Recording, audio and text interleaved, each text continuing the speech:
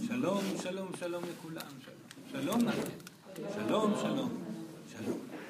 אה, אה, כן, רק קצת להתרחב, לתת לה אנרגיה, קצת לעבור בצורה יותר חלקה. כן, אייל יכול להתקרב, אז אולי ש... ללכת אחורה, כן, המעגל צריך להיות יותר חלק, יותר חלק. שלום ילדה, הרגליים ילדה. אני שמח מאוד לראות אותה. יפה. אז אנחנו כאן במעגל אה, אה, פעם נוספת, ואנחנו שמחים מאוד להיות כאן איתכם. וסורן מזכיר למי ששכח שיש פה עוד ישויות, אז בבקשה לנשום, בבקשה להיפתח. מי שמרגיש שישנה מועקה בחזה או בידיים או ברגליים, ויש פה אנשים כאלו, האמת שכולם. תוודאו רגע שאתם מצליחים להשתחרר אנרגטית, לתת לנו, לתת לכם. מאוד חשוב לנו אה, היום גם להעניק לכם, במיוחד בנושא כל כך חשוב לכם, ובאמת חשוב שהוא חשוב לכם. אז אם אתם מרגישים כל דבר, גם, הנה, פשוט לגעת, ללחוץ, אפשר לטפוח בצוואר, בחזה, בפנים, רק לוודא שאתם נותנים לכל מקום שיש בו תקיעות קצת להשתחרר, האנרגיה להיות חלקה ונעימה, ואנחנו כבר נעשה את הכל מפה והלאה. רן מאוד מאוד מודה לכם שהגעתם הנה היום. אנחנו נדבר היום על כסף, שחשוב לכולם פה בעולם הפיזי הזה. ואנחנו רוצים אה, אה, להעניק לכם מהמידע אה, ומהחוכמה שקיים סביב הנושא של הכסף, כי כסף כמובן, בכלכלה, בכל תחום, התחום המפחיד הזה, הוא מאוד מאוד משמעותי להתפתחות הרוחנית שלכם. וזאת אחת הסיבות העיקריות שכל מי שנמצא פה הגיע לגלגול הזה. להצליח להיות ולנוע בתוך מימד החומר בצורה מדויקת גם בתחום הזה.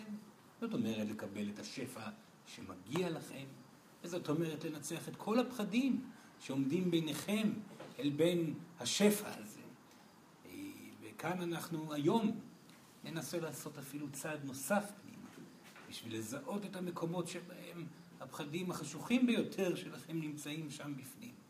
ואולי קצת נצליח לשחרר אתכם מהם ולתת לכם כלים שאיתם תוכלו, תוכלו ללכת הביתה וקצת אה, אה, לבדוק בתוככם במהלך השנים או הגלגול הקרוב. ולמי ייתן, אלוהים תיתן כמובן, והיא תוכל לתת לכם עוד ועוד ועוד, וזה כמובן תלוי בכם כמו כל דבר בעולם הפיזי הזה שבאתם אליו. אז נתחיל בגדול, כן? נתחיל נקפוץ ישר למים העמוקים, כי לפני שאנחנו מדברים על איך עושים את הדיוק הרלוונטי בשביל לקבל את מה שמגיע לכם, צריכה לענות השאלה הראשונה של למה, למה, למה, למה אתם... זו שאלה שמטפסת הרבה מאוד פעמים. מדוע באנו לעולם כל כך דפוק בתחום הזה? וזה הרבה פעמים עולה מהרבה מאוד אנשים. וסורן אה, שומע את הטענה הזאת הרבה מאוד פעמים, למה זה ככה, ואיך זה שיש כל כך מעט אנשים שמקבלים כל כך הרבה, ואנחנו נמצאים בצד, ויש אנשים שלא אכפת להם, באמת לא אכפת להם. והם עושים מה שבא להם עם הכסף אה, אה, שלנו, וכו' וכו' וכו'. אז כאן סורן יזכיר לכם, כבר בהתחלה, שהכסף הזה והשפע כל המערכת הכלכלית הזאת היא בחירה שלכם. אתם בחרתם לבוא אל תוך המערכת המסובכת, ההגיונית, הקשה, הקרה, האכזרית הזאת. אתם באתם אליה מתוך החלטה מודעת. וזה צריך לתת לכם אפילו טיפה של שקט בלב, כי זאת בחירה שלכם. אתם לא נזרקתם הנה, גם לא בתחום הזה. לא נזרקתם הנה כאנשים חסרי אונים. אתם בדקתם אפשרויות, בדקתם עולמות, בדקתם זמנים מסוימים, מצבים פוליטיים, אה, היה ביניכם אה, אה, לפני הגלגול הזה אין סוף אפשרויות לגלגול. ואתם בחרתם לבוא בתקופה הקפיטליסטית הזאת, התקופה הקשה הזאת, שבה הקיצוניות הקפיטליסטית מרקיעה שחקים, יש בה באמת את הסיבתיות הכמעט העיקרית להרס העולם כמו שהוא. ואתם נמצאים בתקופת מעבר, תקופת מעבר מאוד משמעותית, שבה אתם כבר כאנשים מודעים ועוד מיליוני ואפילו מיליארדי אנשים בעולם כולו אה, אה, כבר אה, נמצאים ברמת מודעות מסוימת כלפי הכלכלה, כלפי שפע, שבאמת אתם יכולים בגלגול הזה, בגלגול הנוכחי, להצליח ולראות שינויים עצומים בתחום הזה, שינויים מערכתיים, שינויים כלכלי, כלכליים כאלו שישנו את רמת החיים שלכם ושל הילדים שלכם. לכן אנחנו מאוד אופטימיים. אנחנו אופטימיים בתחום הזה מאוד מאוד מאוד. וסורן רוצה להגיד לכם את זה, שבאמת רמת המודעות עכשיו למצב הכלכלי ורמת המודעות לגבי מי עושה מה בתוך המצב הכלכלי היא גבוהה מאשר שהייתה אי פעם. אם אה, מלפני אה, כמה שנים רוב האוכלוסייה לא האמינה אפילו שישנם אנשים שיכולים לעשות מעשים כל כך חסרי ערכים סביב הכסף. ולגרום לכל כך הרבה אנשים לסבול מתוך הדברים האלו. לא, המדינה היא כזאת וכך, ותמיד היו תירוצים כאלו ואחרים. עכשיו זה ידוע לכולם. אתם מונהגים על ידי אנשים שאוהבים מאוד כסף. כל כך הרבה אוהבים כסף, שלא אכפת להם משום דבר אחר. וכשסורן אומר שום דבר, סורן מבטיח שום דבר. כי למי שיש קיצוניות בכמות השפע שלו, הוא נמצא בתוך תסבוכת מאוד גדולה. לפעמים סורן אה, מצ... מציע לנשמות שבאות לעשות אה, אה, תיקון בגלגול סביב הכסף קיצוני ומשמעותי, ויש להם את האפשרות או להיות מאוד מאוד מאוד עניים בתחתית הסולם, או מאוד מאוד מאוד עשירים. סורן ממליץ את המקום הנמוך ביותר. באמת. כי כמות השפע שהיא כבר כל כך מוגזמת, היא הופכת להיות, היא כל כך אה, אה, קיצונית והופכת להיות בור גדול ברגליים של אותם אנשים בעלי הון, אה, והם סובלים סבל עצום. לכן זה חשוב לדעת. כסף הוא לא מביא אושר, וכאן אנשים הרבה מאוד פעמים חושבים, או, אם היה לי כך וכך, הייתי מאושר מאוד, וזה לא נכון. זה לא נכון, זה בדיוק הפוך. ברוב המקרים הכסף בכמות גדולה עושה הרבה מאוד קושי. וברוב המקרים הוא גורם לסבל איום ונורא כלפי האדם עצמו וכלפי הסובבים אותו. הסורן אומר כבר עכשיו, אתם, שאתם נמצאים בתהליך שלכם, לעבר שפע, עליכם לדעת שכמות הכסף שאתם זקוקים לה, היא לא כמות הכסף שהאגו שלכם חושב שאתם צריכים. ולפעמים האגו שלכם חושב שאתם צריכים מעט ואתם אמורים לקבל הרבה יותר, וזה נפלא, ויש פה הרבה אנשים שיחוו את החוויה הזאת. ולפעמים האגו אומר שצריך אה, הרבה מאוד, ואתם צריכים הרבה פחות. ובסופו של דבר, כאשר אדם נמצא מאושר ונמצא מאוזן גם בתחום הזה, אז אתם אה, אה, מקבלים בדיוק את הכמות הרלוונטית. ודבר כזה יכול להמשיך אם על ידי איזון שסורן ידבר עליו מאוד לעומק היום, על ידי איזון נכון בתחומים האלו, אתם יכולים לחוות שפע של כמותיות שתספק אתכם מאוד מאוד מאוד ולתמיד, וזה שווה מיליונים. זה שווה מיליונים, פשוט מאוד. המחשבה והידיעה שכל עוד אתם עושים את העבודה הנכונה אל מול השפע, הרוחנית, התודעתית, האקטיבית, ההרפייתית וכו' וכו' וכו', והידיעה שכל עוד אתם פועלים בצורה מדויקת, תמשיך את רמת החיים המופלאה שאליה הגעתם מתוך העבודה הראשונית שאותה עשיתם. זה דבר שצריך לנחם אתכם. זה דבר שאתם צריכים להגיד, או, oh, עכשיו אני מיליונר. כי אני יודע שכל החיים שלי, הכל יהיה בסדר. כי אני עובד על הדברים האלו והאלו והאלו שסורן הולך לדבר עליהם היום, ואני מודע לכל המקומות שבהם אני עלול ליפול, ועלול עלול לקפוץ מעל הפופיק ולרוץ רחוק מדי וכו' וכו' וכו', ולכן אני מוגן. המוגן, ההגנה שאתם יוצרים לעצמכם בתחום הזה היא חזקה מאין כמוה, וסורן ידבר על הנושא הזה. אז, לא להאשים את המערכת. לא לחשוב שאם ישנה נפילה כלכלית עולמית, אתם אמורים להיות בתוך הנפילה הזאת. ממש לא.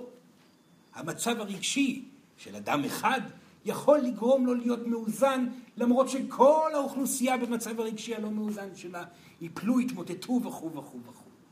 הרגש שלכם ייצר מציאות כלכלית בצורה יומיומית, וזה מצב ברור מאוד, וכאדם שבוחר את הדרך הזאת, גם יזהה בבירור עד כמה זה משפיע.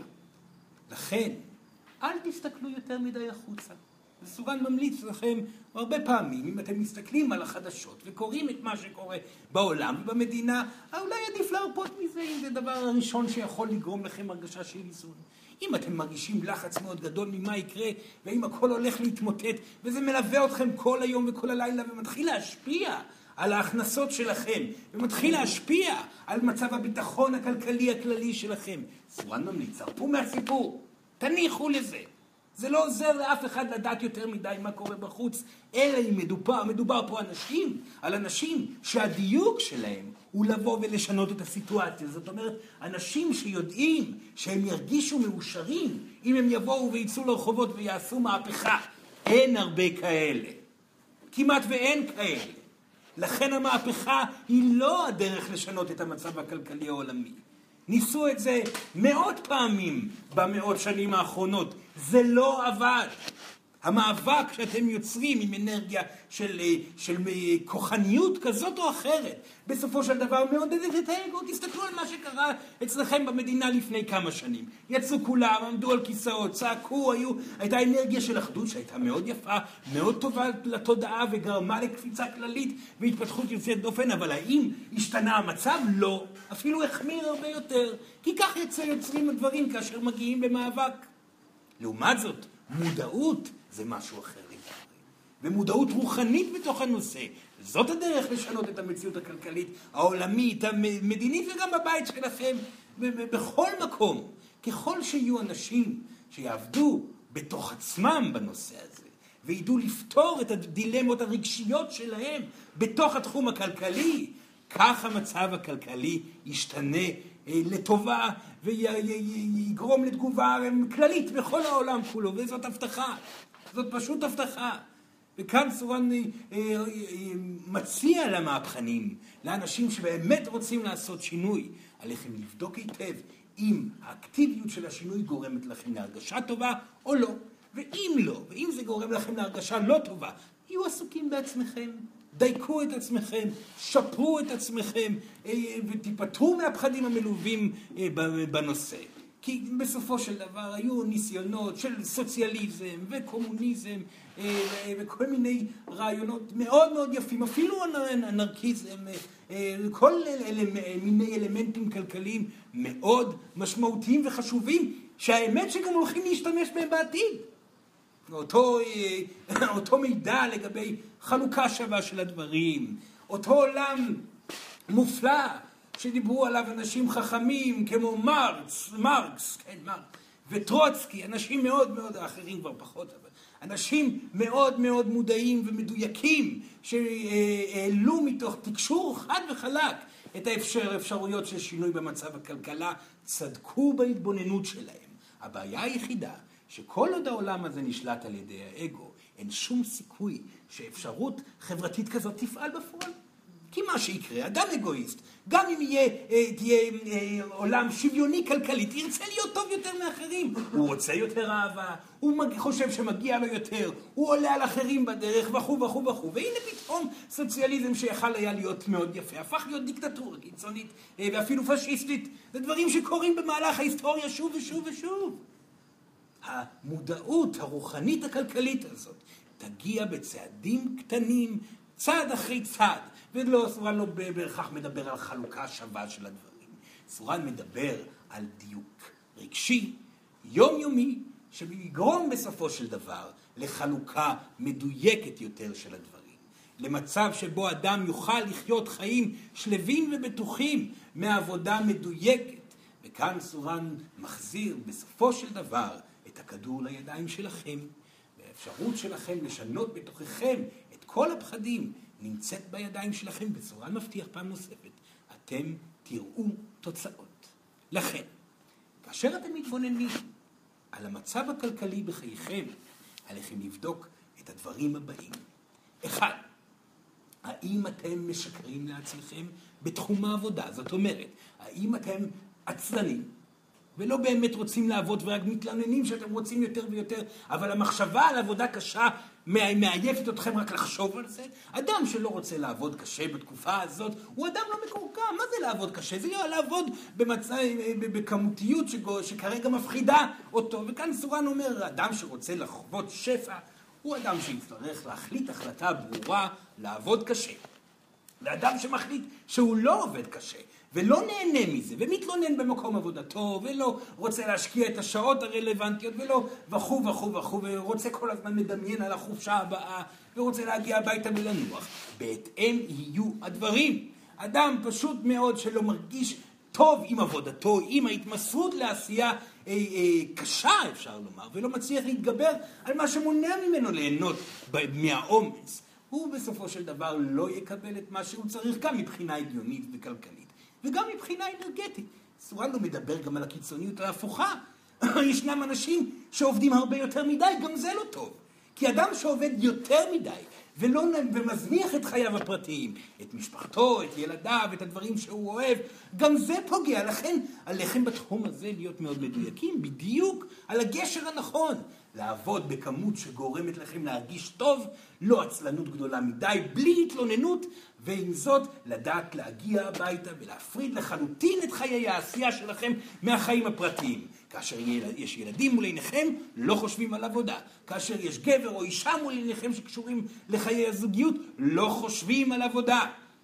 אדם שמצליח להיות מדויק בהתמסרות מלאה לביתו ולחייו הפרטיים, ומצליח להיות בנוכחות ובדיוק בעשייה שלו היומיומית, עשה כבר שלב עצום בהתקדמות שלו לעבר אה, שפע. וזאת הבטחה. וחוץ מזה, כאן מגיע שוב ושוב, וסורן אמר את זה הרבה מאוד פעמים, ויחזור על זה פעם נוספת, המקום הזה שאתם לא יכולים להרשות לעצמכם לסבול בעבודה. זאת אומרת, אדם שעובד וסובל, ורוצה לעבור למקום אחר, וכל היום וכל הלילה חושב על כך שהוא רוצה להתפתח למקום אחר. הוא לא מאושר בעשייה שלו. אדם שאיננו מאושר בעשייה שלו, כי הוא כל הזמן מקשיב לאגו שלו שרוצה התפתחות כזאת או אחרת, לא יחווה הצלחה. חד וחלק. קבלו את זה, אז מי שכאן מרגיש קושי, מסיבה כלשהי, שהוא איננו מצליח לחוות חוויה של מלאות, מלאות בעשייה, עליו לבדוק, לבדוק מדוע אינני מאושר בעבודה הזאת. האם אני מפחד ממנה? האם קשה לי לדבר עם אנשים? אז עליי לפתור את זה. האם קשה לי לטפל, מי שמטפל? האם קשה לי לעמוד ול, ו, ולבקש כסף לדוגמה? זה דבר שמפריע לי ולכן אני מרגיש רע? עליי לפתור את זה. האם קשה לי לקום בבוקר? האם קשה לי... יש לכל אחד אלמנטים מסוימים. בתוך המערך העבודה היומיומית שקשה לכם בו. וזה דבר שמפריע לכם, אתם מרגישים מועקה בזמן העשייה, זה משפיע כלכלית מיד. זה מיד יוצר את מצבכם הכלכלי בהחלט פחות טוב. לכן להתבונן על היום עצמו ולראות באיזה תחומים אתם מרגישים פחד. וכאן סורן אומר, מי שמרגיש עצלנות הוא מפוחד. עצלנות שווה פחד, תמיד. מי שמרגיש שעמום הוא מפוחד. שעמום שווה פחד. מי שמרגיש אה, אה, אה, אה, סוג של ריחוף כזה, וחוסר יכולת להתמקד על הדברים שעל, שאותם הוא חייב לעשות בעבודה, הוא מפוחד, זה הכל פחד. תנשמו עמוק, הסתכלו על היום של העבודה שלכם, ותבדקו מהם הסיבות שאתם מרגישים בעבודה רע. מול מי אתם מפחדים? מול מה אתם אינכם שלמים? מהי הסיבה שיש מועקה בתוך היום-יום בעבודה? ולא לחכות עם זה, לפתור מיד. לפעמים זה יהיה להרפות מציפייה, לפעמים זאת תהיה החלטה לבוא ולהתמסר למשהו שעשיתם אותו, עשיתם אותו מיליארד פעמים, ולהחליט לי לראות בו את כל הטוב פעם נוספת. לפעמים זה יהיה לפתור בעיה עם אחד מהעובדים שעובדים איתכם. לפעמים זה יהיה לבוא וללמוד לדרוש כסף, לפעמים זה יהיה לקבל את העובדה שאתם דורשים יותר מדי כסף. כל אחד בעניינו שלו, וזה תלוי מאוד בכם, עליכם לעצור ולבדוק בפנים. המצע הרגשי שלכם תמיד פרוס מולכם, עליכם לבדוק, לא להתבייש, לא לפחד. אדם שמפחד לבדוק את זה, יישאר תקוע במקום ברמה כלכלית. וזאת הבטחה. בדיוק כמו שאדם שיעשה את העבודה שסורן דיבר עליה עד כה, יחווה חוויה של התקדמות. עכשיו, זה כמובן לא הכל, כי יש פה את עניין הרצון להצליח. שימו לב, הרצון האגואיסטי להצליח הוא בעייתי, תודה. הוא בהחלט יוצר בעיה, כי הוא מבקש ברוב המקרים הצלחה גבוהה מדי, חלומות שאינם קשורים למציאות. אדם שחי במציאות עצמה לא יכול לחלום בהכיס שהוא עכשיו הולך להיות סופר גדול אם הוא עדיין לא כתב אפילו ספר. לכן עליכם לוודא דבר ראשון שאתם לא רצים גבוה מדי. אה? ריצה גבוה מדי להצלחה מפזרת את האנרגיה, גורמת לכם לחוויה של מצוקה, כי אדם שמפנטז פנטזיות אף פעם לא חש שלמות, ולכן ויתור על הפנטזיה וההחלטה לבוא ולהתמסר לדבר הקיים, ברגע הקיים, שכרגע זה לכתוב את הדף הראשון בספר, אולי להמשיך לדף השני ולקבל את העובדות לגבי המצאי הדבר הזה, או אולי לכתוב שיר, מי שרוצה לכתוב שיר, או אולי לבוא ולהתחיל לעשות טיפול ראשון, או אולי לבוא ובכלל להציע את עצמכם להתקדמות בדברים קטנים, יומיומיים, הם הדרך לעבר איזון רגשי, לא חלומות בהקיץ. לכן, התבוננות על הקיים. ההחלטה לבוא ולהתבונן על מה שקורה במציאות ולפתור את מה שקורה במציאות, ולא דברים שלא קיימים בהווה, אלא קשורים לחלומות ולפנטזיות, זה עוד צעד קדימה למען איזון רגשי בנושא של העבודה. וזה מה שיוצר בסופו של דבר הצלחה. הנה, עוד דברים. מסורן זורק עכשיו את כל האלמנטים בבת אחת. מסורן מקווה שכל אחד מכם מתחיל לתפוס משהו. לעלות על משהו שמפריע לו, על איזושהי מצוקה אה, שקיימת בתוכו, ויוכל לשאול אחר כך את צורן, איך פותרים את אותה מצוקה. בשביל זה אנחנו פה, כן? אז להתחיל לאסוף תוך כדי שסורן מדבר את הדילמות, בשביל שסורן יוכל לענות. הצלחה. זה נכון שאתם צריכים לרצות להצליח. מה הכוונה? אתם כן צריכים לדעת שבהכרזה שלכם אני רוצה להיות אדם בעל שפע. יש הרגשה נעימה. מה הכוונה? שאתם עומדים ואומרים, אני מוכן לקבל שפע מהאלוהים. אני מוכן לחוות הרגשה של אה, חוסר מחסר, חוסר מחזור, אה, אה, אולי של, של לחוות חיים שבהם אני לא אחשוב יותר לעולם על כסף. זה אפשרי. למה לא? תאמרו את המשפט הזה, זה מגיע לכם. מי אמר שאתם צריכים כל החיים לחשוב על כסף? בהחלט לא נכון. אתם יכולים ומגיע לכם לחיות חיים שבהם אתם לא תחשבו לרגע אחד על כסף, והכרזה כזאת היא הכרזה מדויקת. זאת הכרזה של רצון לזכות בשפע. לכן כאשר אתם מכריזים את ההכרזה הזאת, עליכם לוודא אם הגוף שלכם אומר את זה כולו בשמחה עם הנשמה ביחד. כן, נכון, מגיע לי, אני רוצה, תודה רבה. זה נפלא שאתם אה, בודקים את עצמכם בעזרת הכרזות כאלה. לכן, הכריזו את ההכרזה הזאת לפחות פעם ביום, ותבדקו האם יש תגובה רגשית נכונה, או שעדיין יש קיבוץ. ואם ישנו קיבוץ, מדוע יש קיבוץ? למה אני מרגיש שלא מגיע לי? אולי זה בגלל שאני לא מספיק מדויק עם האנשים שאיתם אני עובד. אולי זה בגלל שאני מרגיש אשמה מאוד גדולה על כך וכך וכך שעשיתי אל מול חבר כזה שאני, שעובד איתי או אחר. או אולי זה בגלל שאני מבקש יותר מדי כסף. או, וזה חוזר חלילה לדברים שעליהם דיברנו קודם. זו דרך מצוינת לוודא האם האנרגיה הרגשית שלכם סביב ההצלחה היא מדויקת. ההכרזה שמגיע לכם, והעבודה היומיומית למען השיפור של חוויית ההכרזה הזאת.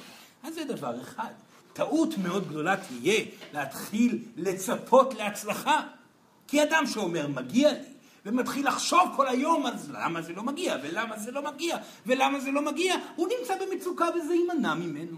לכן, להכריז מגיע לי, ואז להרפות ולשכוח מזה, ממש לשכוח מזה. לא, לא, לא, בפעם ביום אתם מכריזים את ההכרזה, לא בשביל לקבל משהו. זה לא מה שיגרום לכם לקבל משהו בחיים שלכם, ההכרזה הזאת, ממש לא.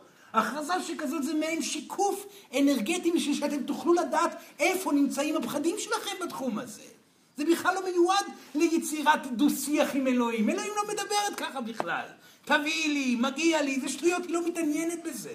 לכם אתם תקבלו כאשר תרגישו בנעים. לכן ההכרזה הזאת מיועדת בשביל לוודא האם אתם באמת מאמינים בכך או לא, ומה יש לתקן בתוך האמונה הזאת, ואיך אפשר לשפר את האמונה הזאת. כאשר אתם תרגישו אמונה שלמה ותשתפרו למען האמונה הזאת, הדברים כבר יגיעו לבד.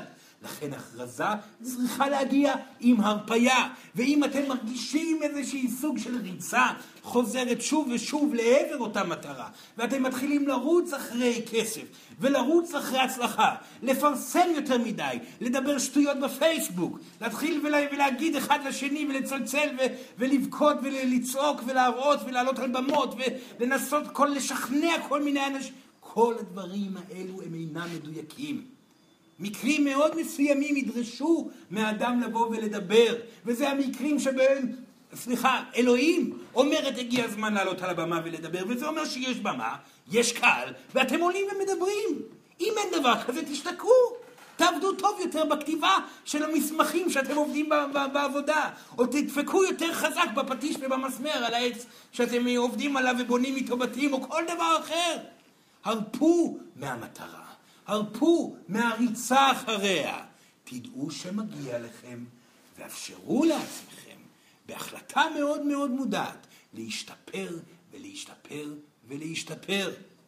החוויה של חוסר הסלחנות לאגו בתוך האקטיביות בעשייה שלכם, ההשתפרות היומיומית הזאת, תביא לכם בדיוק את מה שהנשמה שלכם חושבת ויודעת שמגיע לכם. וסורן מבטיח לכם, ברוב המקרים זה יותר ממה שאתם חושבים. וברוב המקרים הכמות כסף תהיה כל כך נעימה שאתם בעזרת האלוהים. וסורן מקווה שאתם תפתרו את זה, כי מי שכבר מגיע למקום שהוא מתחיל להרוויח שפע, כי הוא עשה את העבודה שסורן דיבר עליה, והוא מרגיש טוב עם עצמו והיקום מגיב אליו, אז מתחיל גם בשלב אחר. כאן סורן יעשה עוד קפיצה קדימה, בסדר? סורן מקווה שאתם מצליחים לאסוף חומר, לאסוף, לאסוף, לאסוף, לרשום בראש שלכם את הדברים שבהם אתם רוצים לשאול שאלות. השלב הבא הוא שלב שסורן מכנה אותו בתקופה הזאת, וזה עלה בדעתו לכנות, לכנות אותו אה, כך, זאת, זה שלב המגמות, המגמה. המגמה היא האויב של כל אדם שבחר להתנהל בצורה מדויקת. מה הכוונה? העבודה הייתה... נכון, סליחה. תודה רבה, תודה. מה הכוונה למגמה? אתם הצלחתם להתאזן. אתם מדויקים בעבודה, נהנים בעשייה, מרפים מציפיות ומטרות, נמצאים בנתינה ובהתלהבות מהעשייה שלכם, חוזרים הביתה ונוכחים בבית עם הילדים או, או חברים או כל אחד וחייו שלו, מרגישים אושר, מרפים אל מול המציאות ופתאום מתחיל להגיע טוב. עולים ומתקדמים בדרגה, ופתאום העבודה היא יותר טובה, מכבדים אתכם יותר. פתאום לעצמאים מביניכם, שסורן מאוד מכבד עצמאים, בגלל שעצמאים הם העובדים של אלוהים, וזה נפלא, אז אותם אנשים מתחילים פתאום להרגיש איזה סוג של יציבות מסוימת, משהו מפתיע מתחיל לקרות, וזה נמשך חודש, וחודשיים, ואולי שנה ושנתיים, ואתם מרגישים בטוב, אבל אז מגיעה המגמה. מה הכוונה? פתאום, שבוע פתאום אחד, מתחיל פחד לחלחל, או יותר נכון להגיד, לעלות מבפנים החוצה. אוי ואבוי, ומה אם זה לא ימשיך ככה? מה יקרה אם כל מה שעשיתי עד כה הולך להתפרר, להתפרק? הפחד הזה היה טמון בתוככם, הוא נמצא בתוך הלב שלכם. הוא לא חדש, הוא נמצא בפנים, הוא מטפס למעלה כי הוא שם בפנים. הוא לא הגיע מבחוץ, הוא היה תמיד בפנים. עכשיו הגיע השלב הבא שהוא עולה פעם נוספת. לכן אותו מהלך אל מול הפחד וההרפאיה מהפחד היא חוזרת שוב ושוב ושוב, כי הרגש טמון בתוככם ויוצר מציאות ואז הוא מבקש לצאת החוצה. אינני רוצה ליצור יותר מציאות. הכל טוב ויפה, אבל יש פחד. אוי ואבוי, מה כל מה שעשיתי עומד והולך להתפרק. מה אז אעשה? והמחשבה מתחילה להיות בראשכם, ומתחילה לנדוד שוב ושוב, והמועקה מתחילה לגדול, ופתאום מפסיקים הטלפונים. אוי! מה קרה? פתאום אין לי הכנסות, משהו, משהו התקלקל פה בתהליך. מה יקרה? מה עליי לעשות? הדאגה גדולה יותר ויותר. אולי יחזור לעבוד קשה, מתחילים לחשוב, לי, לשאול שאלות, והמגמה ממשיכה. היא ממשיכה, ופתאום זה שבוע שלם ואין טלפונים. ושבועיים, המגמה, המגמה, המגמה. או, זה אחד הפחדים הגדולים ביותר שלכם. אז כאן סורן אומר, מגמה זאת שטות. ברגע אחד הכל יכול להשתנות. ברגע אחד של החלטה, התבוננות ומציאת הגורם שמונע מה, מהמגמה הזאת להיעלם, ברגע אחד של שינוי, בבת אחת כל הסיטואציה תחזור עוד פעם למצב הקודם, וכאן סורן אומר חד וחלק, אם אתם פתאום רואים שינוי מוחלט בין מה שהיה לפני שבוע, ופתאום השבוע אתם עניים שוב, וכבר שנה, שנתיים אתם מרגישים בטוב, זאת אלוהים משחקת איתכם, אין פה היגיון. מדוע שעכשיו בשבוע הזה יהיה פחות משבוע שעבר? אין שום היגיון בכך. למה בשבוע הזה פתאום אין הכנסות ובשבוע שעבר כן היה הכנסה? אין היגיון, זה רק הרגש שלכם יוצר מציאות. מה עושים? דבר ראשון מרגישים. מרגישים את הדאגה. נותנים לכאב להתבטא. שימו לב, אם רגש נמצא בתוך מחולל המציאות, שזה מרכז החזה שלכם, הוא שם נמצא בתוך בפנים, הוא יוצר מציאות. אם נותנים לו לעלות למעלה ולהתבטא החוצה, הוא יוצא ממחולל המציאות החוצה. הוא משתחרר. ברגע שהוא משתחרר הוא כבר לא מייצר מציאות. לכן, הבכי הוא קדוש בנושא הכלכלי. הדאגה היא חובה בנושא הכלכלי, אבל לא פה בפנים, בביטוי החוצה. אתם מזהים את המועקה, אל תתביישו בה. הגיע הזמן לעצור את המגמה הזאת. תבכו, תחשבו את הדברים הגרועים ביותר, וזאת הדרך הטובה ביותר אה, לבכות, לראות את כל מה שעלול לקרות, ולאן אני אלך, ואצטרך למכור את הבית, ואצטרך ללכת ולהחליף מדינה, ועליי לקחת את הילדים ולעבור לדרום הארץ, וללכת ולעבור לגור בחווה אקולוגית איפשהו, בקומונה, אוי ואבוי, כל החלומות הקשים שלי הולכים להתעורר, לאפשר לרגש להתבטא. תנו לו להשתחרר. הפחדים הגדולים ביותר, לא יהיה לי שום דבר. אני אצטרך לגור באוהל שנה שלמה. תלכו עם זה, תנו לזה להתבטא. תנו לזה שעה, שעתיים למציאות הזאת להתבטא ככל שזה משתחרר מחולל המציאות, המחולל הרגשי זה משתחרר, כך פתאום תרגישו הקלה. ואחרי ההקלה הזאת תוכלו להגיד, רגע, מהי הסיבה שהדברים נאטמו? אולי לא הייתי טוב פה, אולי אני מפחד מכאן. חזרנו לשאלות הראשוניות. לכן, לאחר שהביטוי הרגשי הזה מתקיים, וביטוי רגשי, כמו שאתם מתחילים להבין, הוא האלף בית של אנשים שרוצים להיות אנשים בעלי שפע, חד וחלק. וכאשר אתם עושים את המהלך הזה, אתם תרגישו טוב פתאום, ולפתע כל הטלפונים יחזרו. ולפתע אפילו יותר מקודם, ולפתע אתם תעמדו מול צד חדש. בכל פעם שאתם נתקעים מול אלמנט שכזה, כמו שסורן דיבר עליו, על מגמת הירידה הזאת, תזכרו בצדי ראשכם או מאחורי הגב, או תשימו את זה כשלט איפשהו בראש. מדובר פה על עוד צעד קדימה, אם זה כלכלי, אם זה רגשי, אם זה אנרגטי, יש פה משהו חדש שהולך להופיע. לכן, אל תפחדו מדברים שקורים. אם משהו קרה פתאום, אפשר לשנות אותו על ידי העבודה המדויקת. צורן עכשיו, אחרי שאמר את כל הדברים הללו, ויש עוד דברים להגיד, וצורן מאמין שבעזרת השאלות שלכם נוכל לענות על כל הכיוונים האלו. אחרי שכל הדברים האלו נאמרו, צורן מבקש שכל אחד מכם יחשוב הפעם בפגישה הזאת על עצמו, באמת על המקומות שישנם פחדים, וישאל שאלות רלוונטיות. אתם יכולים לחיות בגלגול הזה ללא מחשבה יותר אף פעם על כסף, כל עוד אתם מדויקים. וכאן סורן רק רוצה לפני שמשחרר אתכם אל שלב השאלות, לספר לכם סיפור אה, שסורן כבר דיבר עליו בעבר, אבל חשוב לו להגיד את זה עוד פעם. אחד מהישויות הגדולות ביותר שקיימות בתקופתכם, חבר של סורן, כבר מחייו של סורן חייב להגיד, אה, חבר קרוב מאוד מאוד, הוא ישות שאחראית בעיקר, נקרא לזה, על מוזה של טבחים. שאפשר לומר שהוא השף הגדול ביותר בהיסטוריה הפרה-אנושית. כי בסופו של דבר הוא אחד האנשים שעיצבו את המשמעות של התמסרות לעשייה מלאה, אדם שכתב ספרים יוצאי דופן על התחום הזה. אתם לא מכירים וזה לא משנה גם. זה לא, זה לא יזכרו את שמו, והוא פשוט קיים, הוא לא כל כך מעניין אותו אם מכירים אותו או לא. רק סורן יכול להגיד דבר אחד, אותו שף גדול, הייתה לו מסעדה מאוד מוכרת בתקופתנו, היא פעלה מאות שנים גם אחרי שהוא נפטר על ידי החוקים שהוא אה, העלה בנתינה שלו סביב המסעדה הזאת. הוא, היה לו מסעדה של אה, אה, דגים ומסעדה שיש בה גם סלט. בגדול זה מה שהיה במסעדה הזאת. אתם, אתם היום מכנים את המסעדה, את הסגנון הזה יותר סגנון יפני, למרות שבתקופתנו זה כבר היה משהו מאוד מקובל, אבל היחסים שלו אל הים, היחס שלו אל הדגים, היחס שלו אל הלקוחות. מה שנפלא במסעדה שלו, שהייתה מאוד מאוד נחשקת, תורים עצומים עמדו אל, אל מול המסעדה, היו צריכים לקבוע חודשים מראש בשביל להגיע למסעדה שלו. אחד הדברים המופלאים במסעדה שלו, זה שהיו בסך הכל 16 מקומות. אף אחד לא יכול, לא יותר מ-16 היו יכולים להיכנס, כי בסופו של דבר זה רק הוא ואשתו עשו את כל האוכל. אישה נפלאה גם כן. ובסופו של דבר, מה שהיה נפלא, הלוואי ויגיע גם השף הבא שילמד מתורתו של אותו, אותה ישות נפלאה. כל אדם שהתייצב אל מולו קיבל בדיוק את מה שהוא צריך. התבוננות על העיניים, התבוננות על העיניים, לא חודרני מדי, זה לא, אפשר לדבר ולשתות ולצחוק, אך הוא היה מתבונן, מסתכל, מבין אינטואטיבית בדיוק מה עליו להכין לאותו אדם.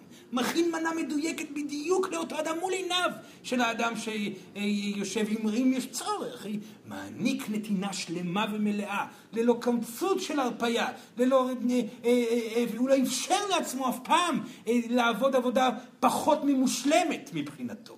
וככה הוא יצר את הנתינה הקולינרית המופלאה הזאת. עכשיו, הוא בסופו של דבר הצליח הצלחה עצמו, עצומה למרות שהוא לא רצה להיות שף.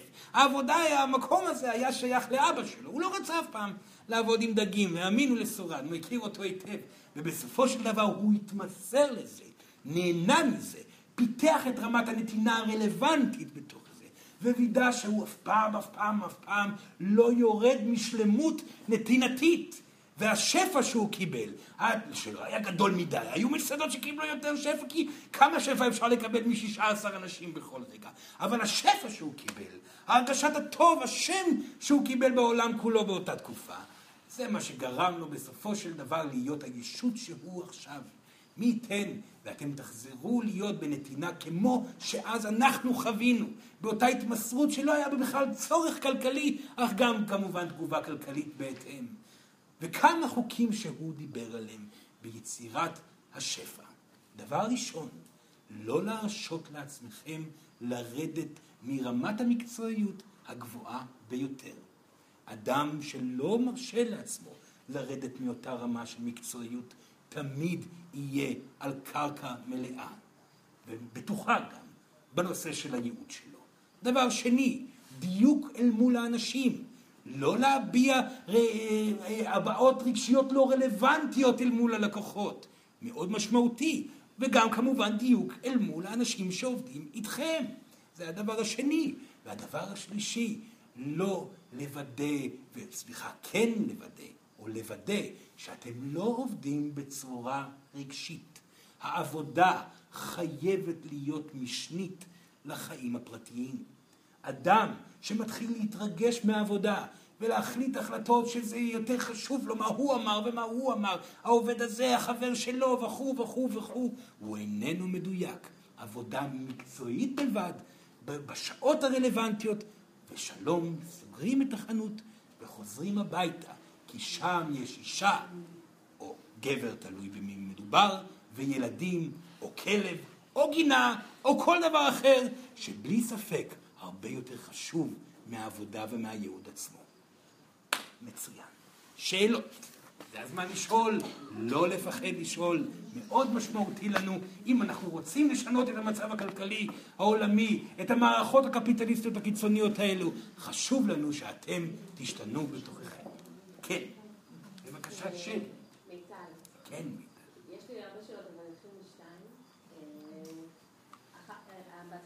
שבעצם אה, בשביל להגיע לשפע אנחנו צריכים לעבוד קשה, זה מה שאמרת? נכון מאוד. זה לא נשמע הגיוני. וגם כן, זה לא נשמע הגיוני, כי כן. כאילו, אז אם אתה עובד קשה, אז אתה... איפה אתה נהנה מהשפע בעצם? ואז איפה גם נכנס הסיפור הזה של אה, לחזור הביתה ו... כאילו, מה זה קשה? מה זה קשה? זאת השאלה שהיא שואלת בעצם. מצוין, אז לא להתבאס לפני שהיא מוודאה מה זה קשה, כן? זה חשוב לדעת. קשה זה מדובר על קשה יותר לעצלנים מביניכם. ועצלנים יש רבים. האלו שמעדיפים ללכת ולעבוד כאילו ברוב הזמן. רבים רבים רבים הם העצלנים האלו, וזה כמובן ייצר תגובה מציאותית כי העצלנות שווה פחד. אז מי שרואה את עצמו ומסתכל בעבודה שלו ואומר, או אני לא עובד מספיק קשה, בוא נודה. נודה שאני לא באמת, אולי לא קשור לשעות, אבל בשעות שאני עובד, אינני באמת נותן את כל כולי. אני נמצא חצי פה, חצי שם, וכו' וכו', עליו להחליט לעבוד קשה. תמיד טוב להתחיל מקשה לאותם עצלנים, ואז להתקדם לעבר שלמות, ואז מתי שהוא עוברים את השלמות הזאת ומתחילים לעבוד קשה מדי, שם המציאות כבר תגיד, אתה עובד קשה מדי. אתה עייף, אין לך זמן לילדים, אין זמן למשפחה, זה הזמן ללכת אחורה. אז להתחיל עם עבודה קשה, ואז לאחר מכן להתמסר אחורה ככל שירגיש לכם מדויק. ישנם אנשים שעובדים קשה מדי כבר באופן אוטומטי. אותם אנשים שאין להם חיים כי הם עובדים קשה מדי, עליהם לעבוד פחות קשה. זה מאוד מאוד סובייקטיבי. בסדר? כמובן שהדרך הנכונה לדעת את זה זאת הרגשה. ההרגשה שלכם. האם נעים לכם או לא. ההבטחה היא... זה לא נעים, לעבוד קשה זה לא נעים. לא, לעבוד קשה זה כן נעים. להתחיל עם זה שלעבוד קשה זה כן נעים. כי אדם שעובד, המחשבה של לעבוד קשה עושה לו רע, הוא נמצא בבעיה. כי מה זה עבודה קשה? זאת התמסרות מלאה לעשייה מתוך החדווה שבזה ומתוך הרצון לעשות את זה בטוב ביותר. אז כן, לעבוד קשה זה כן. לא סתם אמר סורן בהתחלה לעבוד קשה. כי האגו שלכם צועק, מה פתאום לעבוד קשה? עליי לחיות את החיים שלי וכו'. וזאת הסיבה שאתם לא מגיעים לשום מקום, ואז הכל נופל עליכם שוב ושוב ושוב. לא. תאהבו עומס, תרצו בעומס. לאחר מכן, שתחוו טוב עם העומס, ותתחילו לעבור את הטעם הטוב של העומס, הרפו הרפאיה אחורה, לרוב המציאות תגיד לכם בצורה מאוד ברורה, הילדים יגידו, הגבר יגיד, הבנק יגיד או כל דבר אחר, ואתם תעשו את הצעד אחורה לעבר האיזון, ומשם והלאה, הקפידו עליו. בסדר? כן. כאילו גם המילואים והשילוב הזה בין העבודה ואז לחזור הביתה, שאתה אומר לחזור הביתה ולהיות, לעזוב את העבודה, וכאילו להיות במאה אחוז עם מה שיש בבית, איך אתה פותר את הדילמה הזאת כשאתה עצמאי, ואתה לוקח את הדאגה ואת העבודה איתך, ואם יש ילדים אז על אחת כמה וכמה, כי העבודה בסופו של דבר גם משרתת את הילדים שאתה אמור לפרנס. כן, כן, כן. זה כל התירוצים שהאגו אומר. בלי ספק, הילדים, וזה, וצריך עכשיו לעשות, ואם לא נעשה, יהיה קטסטרופה, זה הכל שטויות. אתם מגיעים הביתה, תקבעו את, את, את, את, עם עצמכם את העובדה הזאת. אני כבר מעכשיו לא עובד. בשעה תשע, אחרי שהילדים ישנים, יש לי שעה לחזור לטלפונים. בסדר, אז אני אחזור לטלפונים בשעה תשע. אבל לא, מה יקרה, הילדים, וצריך כסף וזה. לא. אם אתם רואים שהילדים רוצים את תשומת הלב, האישה לרוב היא זאת גם שרוצה, ומנסה לגרום לגבר להיות במקום מאוזן, ישנם בתקופה החדשה הזאת גברים גם כאלו, יהיו קשובים לסביבה האישית שלכם. המשפחה שלכם היא בדיוק המראה הרלוונטית לגבי כמה אתם צריכים לעבוד, והאם זה הזמן עכשיו להרפות מהכל ולהתמסר, ותמצאו לעצמכם שעה מאוחרת יותר לחזור. או אולי בבוקר אתם תמיד יכולים למצוא ביטחון. פשוט תהיו אמיצים בלהרפות, זה יעזור לשפע. סורן מבטיח. בסדר? לא להקשיב לאגו, הוא תמיד משתמש באותם תירוצים. כן, בבקשה. בחוויה של... לומר את השם, כן. כן. בחוויה שלי, בעולם שאני נמצא בו, מבחינה עסקית, כן. אני חווה שאני נדחף להתפתחות. כן. אני לא יודע איך לתרגם את זה, כי מבחינתי כרגע זה לעצור. די. אבל אני מרגיש שאני נדחף. עכשיו, אני לא יודע מה, מה, למה לשייך את זה, זה האגו שלי, או שזה משהו שבעצם הייעוד שלי, אין לי מושג.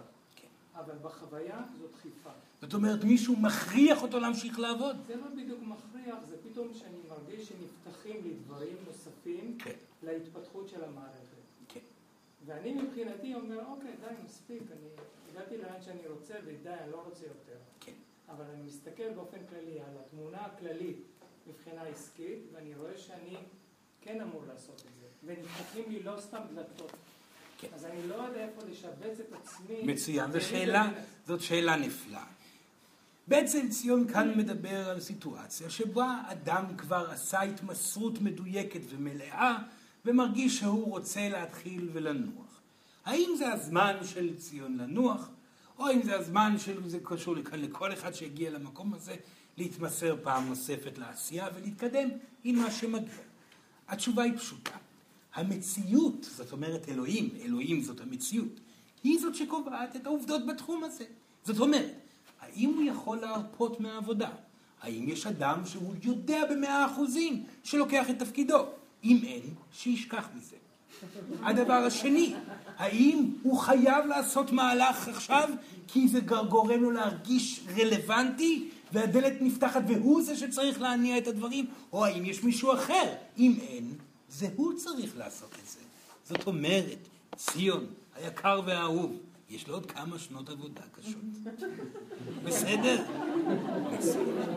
כן, כן, כן, בבקשה, לומר את השם. סליחה, רגע, סורן רוצה לשמוע. כן. אתה הגדרת קודם, אחרי שאדם חוזר מהעבודה, אחרי שהוא מסיים אותה, כן. אז הוא חוזר אל המשפחה או החברים. אתה מגדיר את זה כדבר בסיסי שחייב להיות? חובה. זה אחד מהחוקים הראשונים שנכתבו באומנות. המשפחה, לא החזר, לא הסיום של העבודה, המשפחה כאילו. הוא שואל האם חובה שתהיה משפחה. כן, בן כמה? 14. 14. זו שאלה נפלאה. פשוט מרטיט ומרגש לשמוע שאלות כאלו מהדור המפותח שגדל ביניכם. זה יוצא דופן. אז דבר ראשון, תודה. ודבר שני, התשובה היא כן. כן וכן וכן. אם יש דבר אחד חשוב יותר, או שני דברים חשובים יותר, מהייעוד שלכם, זאת אהבה, זוגיות. כי זה כנראה הדבר שהכי יפתח אתכם בגלגול בעולם הפיזי, והדבר השני, ילדים. בהחלט כן. בסדר? מצוין. שאלה נפלאה, תודה רבה. כן, יש לי עבודה נפלאה. כן. מבחינת אה, תנאים, מבחינת תגמול, מבחינת אה, סביבת עבודה. אבל אני לא מוצאת בה שום אושר, שום שמחה, שום חדווה ושום עניין. כן. אני בלבטים עצומים. כי מצד אחד, אה, לקום וללכת מדבר כזה זה לעזוב תרנגולת שמצילה ביצי זהב. כן. בגלל שתנאים טובים, תגמול טוב וכן הלאה וכן הלאה. מצד שני, אני לא מוצא את עצמי שם, לא מצליחה להניע את עצמי, לתת את. מה שצריך, כמו שציינת קודם. כן. השאלה היא בעצם, איפה, מה הדבר הנכון לעשות? איפה מצוין, מה עושים? מה עושים? מה איפה עושים? בעצם האגו? כן. הרצון שלי לעבוד במשהו שיותר מעניין, מאתגר ומפתח אותי, זה משהו מאוד אגואיסטי, אני רוצה שיהיה לי מעניין. מצד שני, אני אולי צריכה פשוט להישאר במקום היותר נכון, היותר בטוח, היותר מתגמל, גם מבחינת הסתכלות לעתיד. כן. בסדר. מה שחשוב לזכור זה שאלוהים היא זאת שפותחת דלתות, היא זאת שמעבירה אתכם עבודות, היא זאת שתיתן את, הד... הצד הבא בכל מקרה. לפעמים אתם, אתם בטוחים שאתם אלו שנוהגים במכונית, זה אף פעם לא נכון. בסדר? קבלו את העובדה הזאת. אלוהים אחראית על הכל. היא יודעת מתי לעבוד במקום ההוא, מתי עוברים מהמקום הקיים, היא יודעת הכל. וסורן מבטיח את זה. וככל שאתם תחליטו החלטה ללכת ולהיות בידיים שלה, כך בהתאם אה, אה, תהיה תגובה של התפתחות. רוב המקרים, התקיעות שלכם במקומות עבודה לא מגיעה בגלל אה, אה, שאתם אה, מפחדים מהתקדמות, אלא ברוב המקרים התקיעות במקום העבודה זה בגלל שאתם לא מאמינים שאלוהים היא זאת שאחראית לגבי מה לעשות ומתי לעשות. ואדם שמפחד להאמין ומפחד להרפות מהשליטה אה, בדרך שלו, אז בסופו של דבר מוצא את עצמו תקוע עד שהוא לומד להרפות. ולפעמים ההרפאיה תהיה לעזוב את העבודה לחלוטין, ולפעמים וברוב המקרים המשמעות העיקרית של להתמסר לדעה ולהחלטה של אלוהים, וכאן זה הבסיס של הרוחניות, זה להתמסר למה שקיים. אלוהים היא מה שקיים. העבודה שלכם היא אלוהים.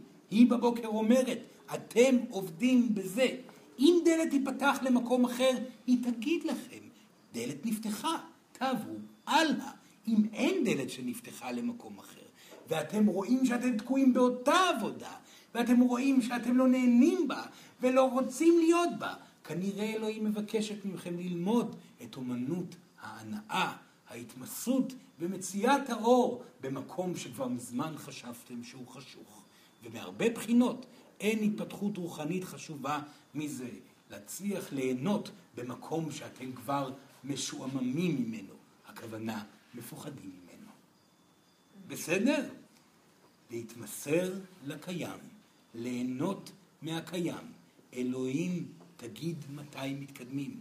היא תסמן את זה בצורה מאוד ברורה, אם זה על ידי אפשרות שהיא תיפתח, הרעיון שיעלה, קריאה מאוד חזקה ממשהו ברור ופיזי, או אם זה פשוט כי העבודה תיגמר ותפסיק. תאמינו באלוהים, היא יודעת מה לעשות. אז אם אתם נמצאים איפשהו, זוגיות, עבודה, אתם לא נהנים בה, הגיע הזמן להתמסר עד הסוף, לפתור את הדילמה שמונעת מכם הנאה, ושם כבר הדתות ייפתחו לבד. בסדר? בהצלחה, בהצלחה. כן, בבקשה. ירון, כן. לקחתי את התרגיל שנתת לבדיקה איפה נחסם השפע. אה, והדבר הראשון שקפץ לי לראש, אני עוד לא, ככה בדקתי אותו עד הסוף לעומק, אה, זה כבר הדהד בעבר, אז אני מרשה לעצמי כן להתקדם עם הרעיון הזה, זה ששפע, אה, מניעת שפע יושב על מקום של פחד מ... מהגדלת האגואיזם, מהצבירה העצמית, מאי הסתכלות על האחר, מהפיכה להיות בן אדם אה, מגעיל. כן. אה, שם זה, לדעתי שם זה תקוע. שם הוא מרגיש אצלו שזה תקוע. אצלי, אצלי. נפלא, כן. כן. כן? אז אני רציתי לשאול, אה, כמה מדויקת ההרגשה הזאת במקרה הזה, ואיך מתגברים על זה. דבר ראשון, היא איננה מדויקת. למה היא איננה מדויקת? בגלל שאין לו מספיק שפע להגיד שיש לו עוד צעד אחד והוא יהפוך להיות מגעיל. בצד הבא הוא יהיה די נחמד, נכון? האמת שאם הוא יעשה עוד ארבעה צעדים קדימה, הוא יהיה איש מאוד טוב, נכון? הוא לא יהיה מגעיל עם עוד ארבעה צעדים קדימה. כנראה שהפחד לא מאפשר לראות. אז שלא ידבר על הפחד, שיחשוב על עצמו. אם הוא רואה את עצמו כאדם שעשה ארבעה צעדים קדימה מבחינת שפע, הוא יהיה מגעיל? הוא יהיה אגואיסט גדול? כן או לא? אני רואה תמונה, אני רואה שתי תמונות. כן. אני יכול לראות תסריט אחד כזה, תסריט אחד אחר. השאלה, אם הבחירה באמת בידיי, או שהתסריט הרע יכול לקחת שליטה. כמובן שהוא לוקח שליטה. כי אם הוא חושב שאם הוא יגדל ויהיה יותר טוב, אז הוא יהיה איש רע, עליו לוודא שזה לא יהיה נכון. אז כשלא ידאג, הצעד הבא לא יהפוך אותו להיות איש רע, פשוט יהיה לו את מה שהוא צריך, נכון? איך, מוודאים את הדבר הזה? איך מוודאים את זה? שאני לקבל. לא- שאני לא אהיה האיש הרע. פשוט בתור צעד ראשון, שלא יעבור את הסכום של 70 אלף שקלים בחודש. טוב? בתור צעד ראשון, צורן מבקש ממנו שלא יעבור, שלא יסכים לקבל יותר מ-70 אלף שקלים בחודש. מקובל עליו? מצוין. שם הוא יהיה בסדר. אחרי 70, שיגיע ל-70 אלף שקלים, שידבר עם סורן אז ונבדוק מה יקרה אם יקבל 100 אלף שקלים בחודש. טוב? סורן מבטיח. כל, עכשיו יש ילד חדש שמגיע, בעזרת האלוהים, נכון? צריך, יהיה ילדה שמגיעה, סליחה, צריך עכשיו שיהיה יהיה, יהיה עוד, וצריך עוד. אז בוא נקבל עוד, למה לא? מגיע לי, אני טוב במה שאני עושה. בוא ניתן לי לקבל עוד, זה עדיין לא יגיע ל-70. אז עוד מעט, כשנגיע ל-70 נדבר, בסדר? להפסיק לדבר ולח... עם האגו, הוא אומר הרבה מאוד שטויות. טוב? לדוגמה את מה שהוא אמר עכשיו. כן, כן. אה, רציתי לשאול... שם, שם בבקשה. דיברת בחלק מהשיחה על הנושא של אם עולה פחד אז הוא לפתור אותו. זה לא לגמרי ברור לי המקום הזה שדיברת. אה, כאילו, מה לעשות איתו? כאילו, מה זה אומר לפתור אותו? כן. זה דבר ראשון. ודבר שני, זה קצת מתחבר לשאלה הקודמת שהייתה, אם אתה יכול לדבר קצת על פחד מהצלחה. כמובן, כמובן, כמובן. סליחה. מה עושים? איך פותרים פחד? זאת אומרת, הפחד מכך שלא יהיה שום דבר. פתרון של פחד מגיע כאשר אתם מזהים את המקום הכי גרוע שאתם יכולים לדמיין, ורואים בו משהו שאיתו אתם יכולים להתמודד.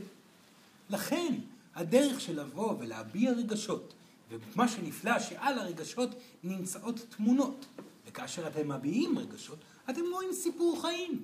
הפחד עולה, ואיתו אתם מאבדים את העבודה, ואיתו אתם מאבדים את זה, ואת זה, ואת זה. ללכת עם זה עד הסוף, ואתם תראו שבסופו של דבר, אחרי שאתם תלכו עם זה עד הסוף, גם במקום המפחיד ביותר יש פתרון. אתם תראו שגם אם תיפלו הכי נמוך, אתם תראו גם את הצעדים כלפי מעלה שיגיעו לאחר מכן. אדם שמצליח לחוות ברמה רגשית ותודעתית את הפחד שלו בצורה מלאה, בעצם חוסך מעצמו לחוות חוויה של אותו פחד במציאות הפיזית. אין לכם מה לפחד מהבעה רגשית. הבעה רגשית היא הפתרון להרבה מאוד מהקטסטרופות שעלולות לקרות בחייכם. לא לשמור את זה בפנים, במקור יצירת המציאות. להביע החוצה ולשחרר את המטען הזה לאנרגיה הקלילה שתבוא לאחר מכן. זה לגבי הדבר הראשון. הפחד מהצלחה. כמעט ואין דבר כזה פחד מהצלחה. האמת היא שהפחד מהצלחה ברוב המקרים הוא הפחד מלהצליח ואז להיכשל. זה לא הפחד מלהצליח. הצלחה זה דבר שאתם יכולים לראות מול עיניכם, כי הצלחה זה דבר שאני רוצה. הבעיה זה מה יקרה אם אני אגיע לשם ואז אגלה שאני לא שווה דבר. וזה פחד שיותר אתם תצטרכו להתמודד בכל מקרה, ולכן אדם שמצליח, עליו כל יום להגיד תודה, זאת מתנה שאני מצליח, ויש סיכוי גדול שכל זה ייעלם, ואני אתמודד עם זה.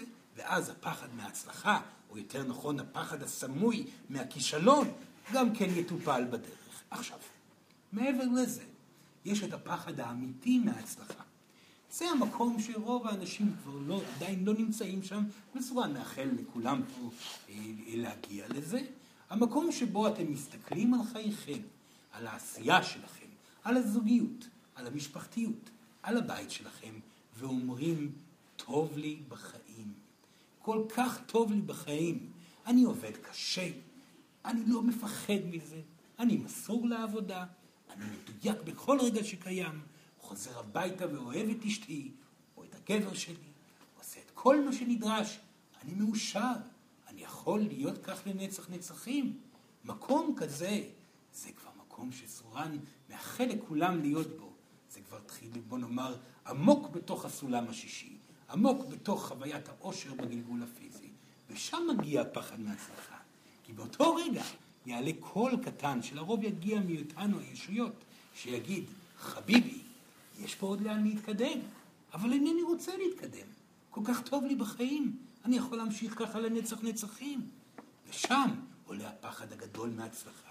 כי למה לסכן את כל מה שיש לי עכשיו באיזושהי אמונה שישות אמרה לי שצריך להתקדם? רוב האנשים לא הגיעו לזה פה עכשיו, וסורן חשוב לו לומר את זה. רק כשזה יגיע יום אחד, תזכרו. וכאן סורן מבטיח לכל האנשים שזה ייגע בהם בהמשך. כאשר אנחנו אומרים, יש לאן להתקדם, אנחנו מתכוונים שיש עושר גדול יותר להגיע אליו. וזה אומר שגם אם תאבדו את כל מה שעשיתם עד עכשיו ותתחילו משהו אחר, בהכרח תהיו אפילו יותר מאושרים מהגן עדן שאתם חווים היום. תזכרו את המשפטים האלו. בבקשה, כאשר יגיע הזמן, זה יהיה חשוב. כן. כן, בבקשה, ילדה. אני? עוד, כן, כן, כן. אה, קוראים לי יעל, כן. ואני תלמידת תיכון בשנה האחרונה. כן. אה, אני עובדת הרבה. אה, גם אחרי הלימודים יוצא לי ימים כאלה, וכאילו אני, יש לי, אני אוהבת לעבוד, יש לי הרבה סיפוק מזה, אבל גם זה נורא מעייף, כאילו, וגם יש מבחנים, והשאלה אם זה נכון העומס הזה, שאני צריכה לעשות הפרדה בין הלימודים והעבודה, או שבעצם לשלב ביניהם זה עושה לי טוב. ספציפית, במקרה שלה, היא צריכה להמשיך בדיוק כמו שהיא עושה עכשיו, טוב? היא עושה עבודה יפה, ולהצליח להכיל את כל הדברים ביחד, זה רלוונטי אליה. כאשר סורן דיבר על דילמת העומס, הוא לרוב מדבר על אנשים שכבר הגיעו וגילו את העולם הרוחני, אה, הפחות רלוונטי נקרא לזה כך, של אותו מקום שאפשר להרפות מהפיזיות וללכת ולנדוד באין סוף. אה, זה כל מיני חבר'ה שעכשיו נמצאים בגילי השלושים שלהם ברוב המקרים, או עשרים ומשהו, שגילו שיש אין סוף סביבם, ואמרו, או, למה צריכים לחיות בקרקע אם אפשר לחיות בשמיים? וכאן סורן אומר לכל האנשים הללו, אתם נמצאים בקרקע כי באתם הנה ללמוד מהקרקע. להיות באיזשהו מנזר בודהיסטי במקום אחר בעולם, זה עשיתם בגלגולים אחרים, זה לא הביא אתכם ליותר מדי רחוק, וזה בזבוז של גלגול שלם. הפחדים שלכם נמצאים בקרקע, ולכן אנחנו מבקשים ומבטיחים לכם, אותם אנשים שבורחים מלקיחת אה, אחריות שנמצאת בקרקע, אתם תזכו בהערה חדשה, ההערה של הצלחה להיות מאושרים בעשייה מלאה, והיכולת שלכם להיות מאושרים במקומות שבהם בעבר חשבתם שלא תוכלו, להפוך את המכונה לשדה של פרחים. היא להמשיך כמו שהיא. בסדר? מצוין. תודה, תודה. בבקשה, קודם כל, כן. אמ, נאמר את השם. כן.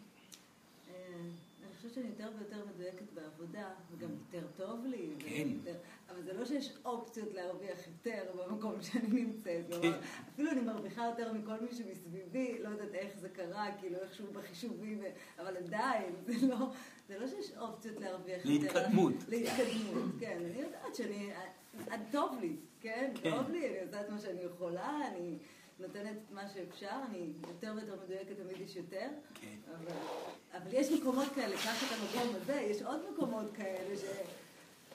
אין יותר לאן להתקדם. זה לא שאין יותר לאן להתקדם, אתה יודע. כן, היא-. מורה בבית ספר, מי שלא הבין.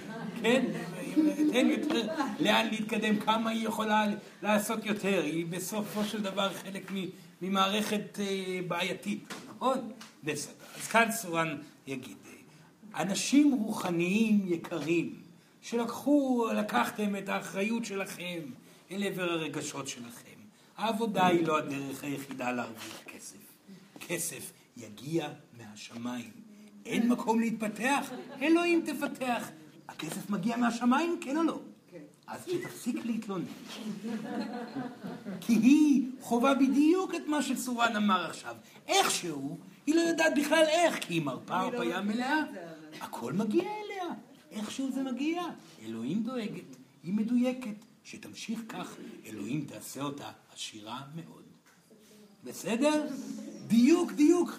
צורן מבטיח, לא צריך להחליף עבודה. אתם נהנים בעבודה, איכשהו יגיע הכסף. פתאום איכשהו תגלו שיש יותר. רק הפתעות מגיעות מתוך המק- המקום הזה, של אז בעצם על ידי ההתמסרות לפעולות המדויקות הרוחניות. ניסים קורים בחייכם, וכסף מגיע. טוב, בהצלחה ולהמשיך כך זה כל מה שיש להגיד. רגע, כן, בבקשה, כן.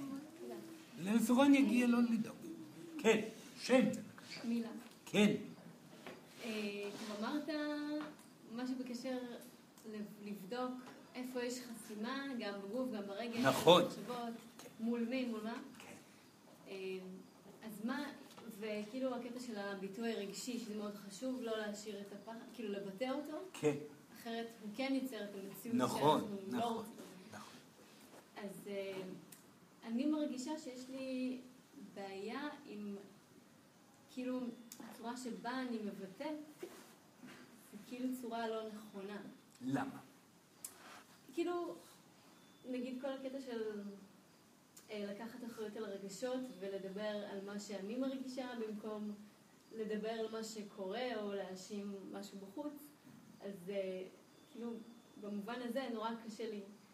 כאילו, אני לא יודעת אם זה נכון, זה שאני צריכה רק אה, לבטא את זה. בצורה מסוימת, או כאילו, מה יותר חשוב, פשוט לבטא, לא משנה איך, או, או שזה חשוב כי לפעמים אני מרגישה ש... שאין לי, דר... אין לי כל כך את הכלים לבטא את זה בצורה מאוד מסוימת, ולפי כללים מסוימים, כמו של תקשורת מקרבת למשל, ובצורה כאילו שהיא הכי נכונה. היא מדברת על ביטוי מול אנשים אחרים, גם, כן. אז אפשר לעזוב את הנושא הזה. אתם לא צריכים לבטא אנשים אל מול אחרים. מי אמר שאתם צריכים לעשות דבר כזה?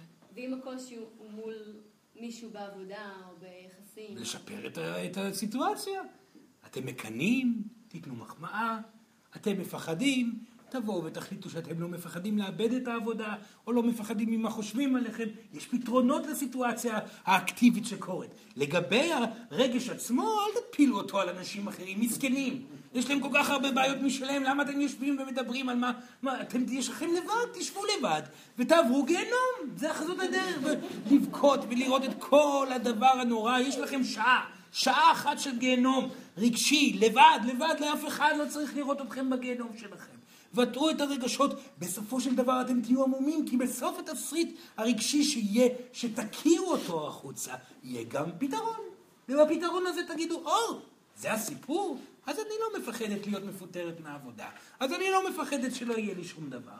ושם היא תהיה בקלילות יותר גדולה אל מול האנשים שהיא עובדת איתם, אל מול האנשים שיש לה בעיות איתם בעבודה. בסדר? בהצלחה, בהצלחה. כן. אה, החלק של- הראשון של הדברים שאמרת היה מאוד מעניין. אתה דיברת על איזושהי תנועה רגשית שתגרום לשוויוניות בין כולם, נכון, שהיא נובעת מפעילות רגשית של כל אדם ואדם. נכון. אני, אני תוהה לגבי המערכת יחסים בין אדם שמבקש כסף בתור הומלס, כן. לבין כאילו האדם שמישהו מבקש ממנו. וכאילו מה הרגש שאמור אה, לנבוע משם? זה חמלה או שזה הערכה? כי יכול להיות שהבן אדם הזה נמצא על, על מסלול שמתאים לו. נכון. והוא הוא, הוא מממש את זה. נכון. זאת אומרת, איך להתייחס אל אנשים שנמצאים ברטט אה, שלא נמצא במקום שלכם. אני, אני מוצא את עצמי, אני מדבר על עצמי, אני מוצא את עצמי בסיטואציות שונות מגיב רגשית ב, ב, באופן אחר. אבל תמיד אני מרגיש אשמה על זה. כן. במידה ו... בסדר. אז כאן סורן יגיד שבאמת זה נכון שאין לכם שום יכולת לעזור או לפתור את המקום שהאדם נמצא. הוא מישהו שבא להעמיד מולכם סיטואציה רגשית שלכם עצמכם. אל תשליכו עליו שום דבר, בסדר? הוא נמצא במקום, זה מפעיל בתוככם משהו, אתם רוצים להעניק לאותו אדם, תשמעו עמוק ותעניקו. אם אתם מרגישים שאתם לא רוצים להעניק לאותו אדם, אחרי שבדקתם, תמשיכו הלאה, הכל בסדר. זה עניין שלו עם עצמו, זה לא שייך אליכם. אלא אם אתם מרגישים אשמה ומצוקה, אז יכול להיות שאתם כן צריכים לתת שקל פה ושקל שם. כל אחד והעניין שלו. מה שבטוח, שאתם לא יכולים לעזור לאף אחד, בכל מקרה. טוב? מצוין. כן. רגע, רגע, רגע. מי כאן ביקש ובכה? כן. לא, לא, לא, סורן צוחק. כן, בבקשה. אמ, אני מרגישה שעליתי על איזושהי דרך אה, טובה אה, בהתמודדות שלי עם חומר. אה, אני נמצאת בעבודה שאני אוהבת ואני עובדת קשה ואני מת ממנה ואני חושבת שאני די בהתמסרות. אבל אני עדיין מרגישה שהחומר בורח לי מבין האצבעות. כן. זאת אומרת שהיא מוציאה יותר מדי. אני לא חיה חיים פזרניים. אבל? עדיין. אני לא מבינה את זה. כאילו, איפה, איפה... זאת לא אומרת שהיא כן חיה חיים פזרניים, נכון? רגע, לא. מה קובע אם אתם פזרניים או לא? מאוד פשוט, אלוהים. מה זה אלוהים? הבנק. אם אתם מסתכלים, מה הכוונה? הבנק כרגע הוא הדרך של אלוהים להביע לכם אם אתם פזרנים או לא. אם הטלפון מצלצל ומצלצל מישהו מהבנק ואומר, תשמעו, כל השטויות של הבנק, אבל אומר, אתם צריכים לוודא שכך, זה אומר שאלוהים, אתה אומרת, אתם צריכים לוודא שאתם צריכים במקרה או להכניס יותר כסף, מה שהיא עשתה עבודה מאוד יפה בתחום הזה, או לוודא שכמות הכסף שיוצאת מתדייקת, מה שיכול להיות שהיא יכולה לשפר. אז אתם פזרנים. אם המציאות אומרת שאתם פזרנים, אתם פזרנים. אם אתם מרגיש, מרגישים לא טוב עם כך שיש מחסור, אל תשאלו את אלוהים איך זה קורה שיש מחסור. אתם מוצאים כסף. משהו קורה ויוצא מכם כסף. אבל זה גם איזשהו אולי אה, מהמקום של האגו, של הפחד, מול ההצלחה, מול הכישלון. לא, לא, לא, לא, לא. אתם לא מרגישים בטוב כשיש לכם מינוס בבנק. אתם לא מרגישים בטוב, מעט אנשים מרגישים בטוב עם חובות. יש כאלו, אבל מעט אנשים שאומרים, אה, אה, כן, יש חובות, אבל בסדר. לא, לרוב זה תיק מאוד גדול על הגב שלכם. ואם יש לכם תיק אנרגטי של חובות, עליכם לפתור את החובות. זאת אומרת, יותר חשוב אפילו מלמצוא ייעוד חדש, זה לפתור את המצב הכלכלי, להתמסר למשהו שיפתור את הדילמה הזאת, להרוויח עוד כסף, או להצטמצם בהוצאות. אז היא עושה עבודה יפה בהכנסה. סורן אומר לה, היא משתפרת בזה יותר ויותר. משהו, או שיש גנב קטן שלוקח את הכסף בכל פעם וחוטף משהו שהיא, מבלי שהיא רואה, זה לא המצב, או שהיא צריכה לעצור ולבדוק, רגע, מה עליי לעשות בשביל שלא יקרה הדבר הזה? יהיו מציאותיים. הרוח היא מציאות, מתי תבינו את זה? אין את מי להאשים. מה שקורה בפועל זה מה שקורה בתוככם, עליכם לשפר את מה שקורה בפ... בתוככם על ידי פעולה בתוך הפועל, הפועל, זה הכל. המציאות היא הדרך לשפר את מה שיש בתוככם, ברגע שזה משתפר, המציאות משתנה. נורא פשוט לא לספר לעצמכם סיפורים. הוכחה קיימת בעולם הפיזי. העולם הפיזי זאת אלוהים מדברת. טוב? שינוי, שינוי, שינוי. כן, בבקשה. מאוד אהבתי את הסיפור שסורן סיפר על השף היפני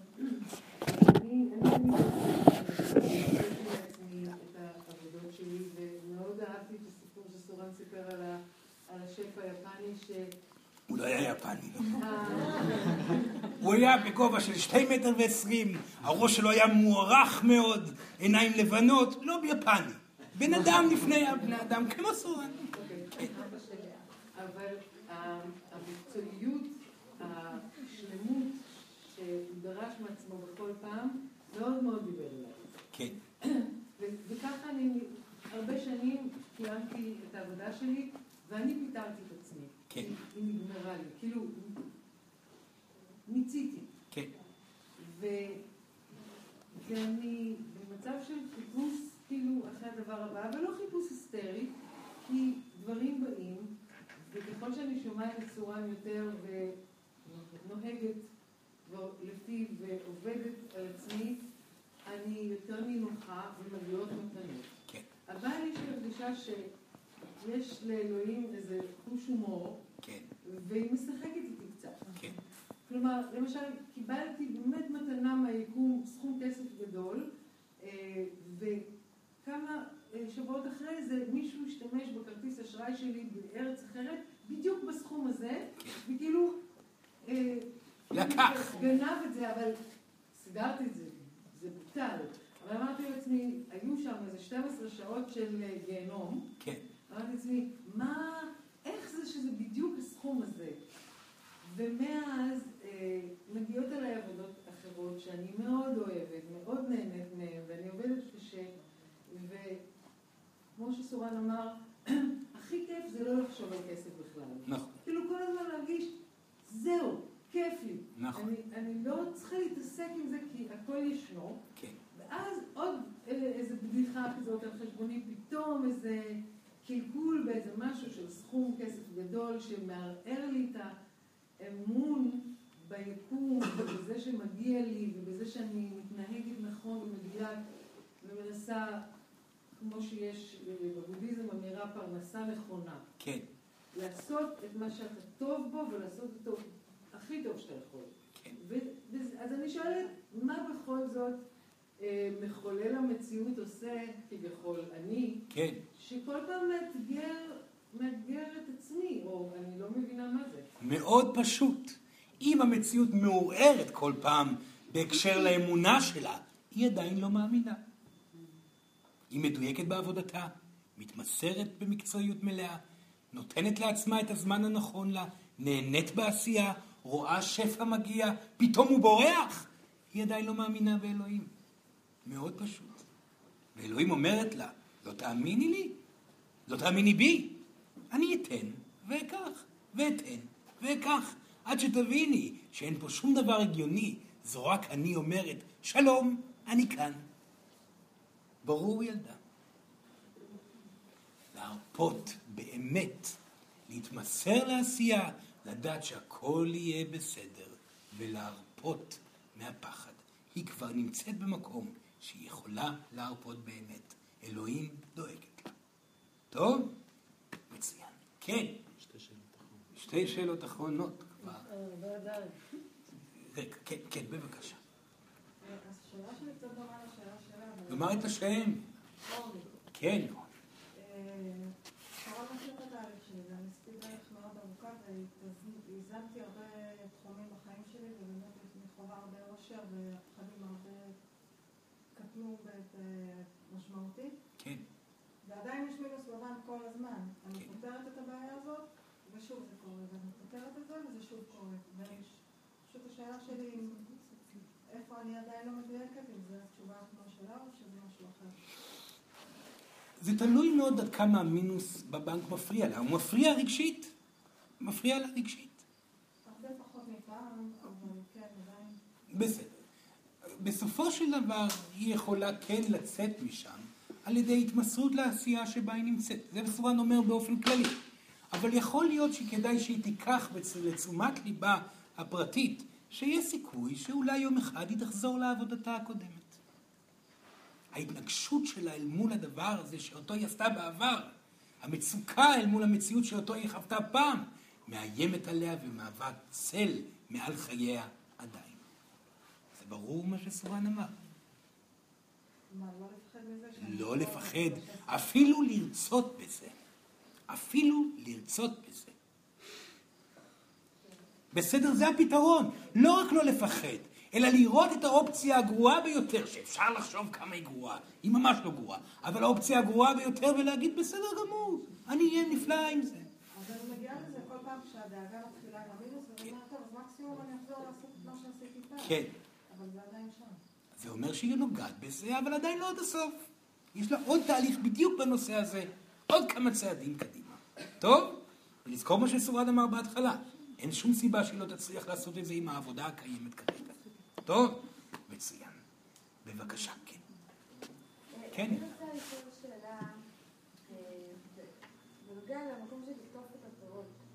אבל זה משהו שהעלו לתשומת ליבי על החיים האישיים שלי, שכאילו אני מתמסרת למקום מסוים ומנסה כמה שאני יכולה אה, להיות בנתינה שם, לא נופלת לייאוש שאני נופלת לייאוש, אבל לפני זה, אה, ולא ולא לא מקבלת את הפירות של העשייה. זאת אומרת, לא, גם בכל מיני, אה, אה, כמו גלגולים שלי כאן, של כל מיני דברים. עשיות, כן. אז עדיין, זה אף פעם לא מגיע לשם, ואז אני מוצאת את מחדש, ושם בהתנסות, ובדרך, ושוב פעם, לדבר הבא. כן. או גם לא לדבר הבא, בינתיים זה המון שנים אותו דבר, אבל גם שם יש המון המון נתינה והמון המון המון התנסות, אבל... אז כנראה היא לא מרגישה שבאמת מגיע לה פירות כאלו. עדיין היא לא מרגישה כך. לא מבחינת היכולת שלה לעבוד, אלא אולי ההרגשה שמגיע לה מתנות באופן כללי. זה שמגיע לה בכלל, באופן כללי, לקבל משהו גדול, כמו פירות כאלו, ושפע ושלווה בכלכלה וכו' וכו', ולא רק בתחום הכלכלה. עליה לבדוק באמת אם יש לה התנגדות לגבי זה שהיא יכולה לראות את עצמה חיה עם מתנות. בסדר? זה עניין מאוד סובייקטיבי שלה. ואיך? איך? לשאול את השאלה. להכריז הכרזה, מגיע לי הפירות, מגיע לי השפע, מגיע לי הזוגיות. ולבדוק האם הגוף אומר כך באמת, או שהוא אומר לא, זאת לא האמת, לא מגיע לי. בגלל שאחת ושתיים ושלוש וארבע וחמש. ואז לעבור על כל הרשימה ולתקן, ולתקן ולתקן ולתקן. עד שתקום בבוקר ותגיד מגיע לי, וכל הגוף ירקוד עם המשפט הזה. בסדר? בהצלחה יקרה. כן, כן, בבקשה. כן. אני אני מתקשה להיות בנוכחות מלאה כשאני יוצאת מהעבודה. כן. וכל מה שאני עושה אחרי שאני יוצאת מהעבודה. ואני צריכה עזרה. בסדר גמור. הרבה פעמים אתם נמצאים עם דאגות מהעבודה, ויוצאים מהעבודה ועדיין אה, חשים שאתם חייבים לשלוט על משהו שגם כך אין לכם שליטה עליו. ככל שתקבלו שהדאגה והלחץ זה לא דבר רלוונטי בחייכם, ואפשר לעבוד אפילו הרבה יותר טוב ואיכותי ללא דאגה ולחץ, כך תוכלו אתם להתמסר לקיים לאחר העבודה. פשוט לשים את זה בדגש בראשכם. אין שום סיבה לחשוב על העבודה עכשיו. נגמרה העבודה, אלא אם הגיע טלפון בהול או כל דבר כזה אחר. סיימתם לעבוד, להתמסר לקיים ולהזכיר שזה רק יתרום לעבודה. זה תמיד רק יתרום לעבודה. כי מקום עבודה צריך אנשים מאושרים. בסדר? לא רק אנשים חרוצים. בסדר? מצוין. כן. אני עובד בעבודה שאני אוהב. כן. כיף לי. שואל את עצמי אם אני חוזר. אני מרגיש שהשכר שלי מתאים לי, מה שאני מקבל היום, למה שאני עושה היום. השאלה אם אני חוסם את עצמי. כי באיזשהו מקום אני גם כועס על עצמי שאני חושב את זה. השאלה אם זה איפשהו חוסם את אין שום חסימה בכך שיהנה ממה שקיים. בשלב מסוים דברים יקרו ויובילו לשינוי. להתמסר לקיים. הוא עושה עבודה מצוינת. בסדר? נפלא. כן, שאלה אחרונה. כן, כן. אה, יש לי שאלה... תאמר את השם. כן. יש לי שאלה לגבי המסביב שם. קצת מרגישה בזמן האחרון שאנחנו איזה אנשים שממש אה, מסתכלים רק על, ה... על עצמם ועל המסביב לעצמם ו... וכואב לי עם כל מה שקורה לנו בארץ, עם כל התגליות המרעישות של ה...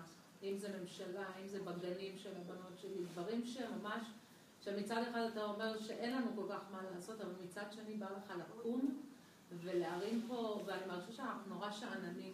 ואתה גם, משהו בדיבור שלך אמר שדווקא זה לא, אין לנו הרבה מה לעשות בזה. נכון, זה וזה נכון. מבאס אותי נורא.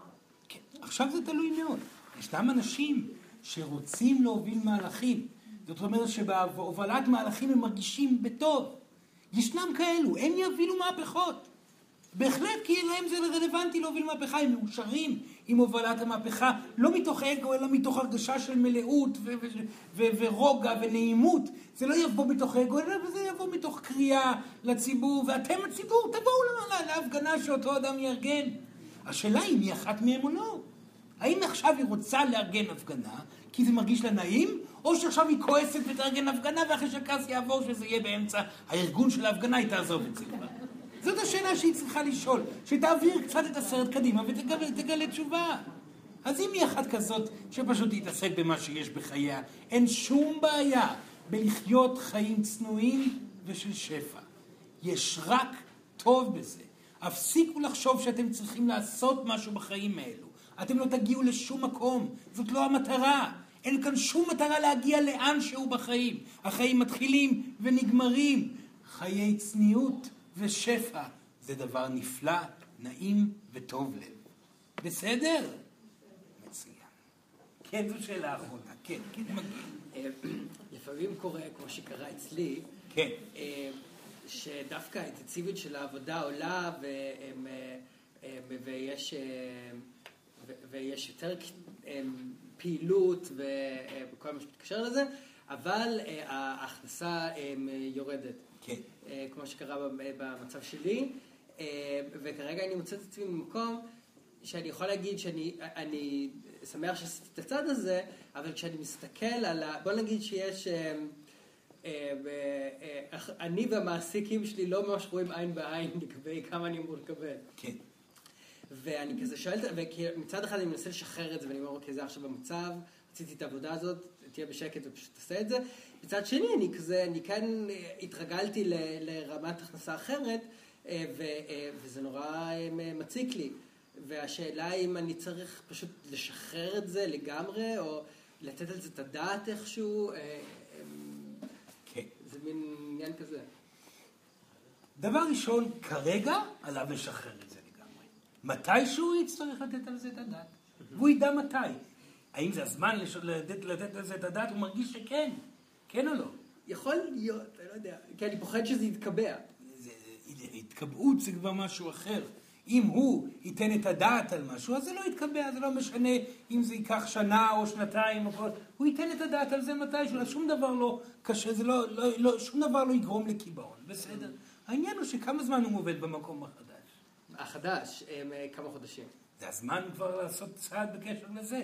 כן, בגלל שהסידור שלי שם היה זמני מלכתחילה. כן. אז עכשיו, עכשיו זה הזמן לבוא ולדבר על כמה. יכול להיות שזה, כן. אז אם עכשיו אה, יש שינוי, והוא מתחיל להתמסר למקום עכשיו בצורה אחרת, שיפתח את הדברים. אם הוא לא יקבל, אז הוא יחליט מה לעשות. בסדר?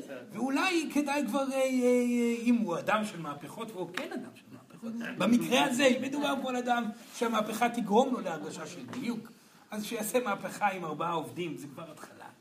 בסדר? מדברים על ארגון, ארגון, ארגון. בואו נתארגן האופציה אנחנו. הזאת הייתה באמת. אז קדימה, למה- רק לצחוק? אפשר באמת לעשות דבר כזה. מהפכנים שיתחילו בבית להפוך.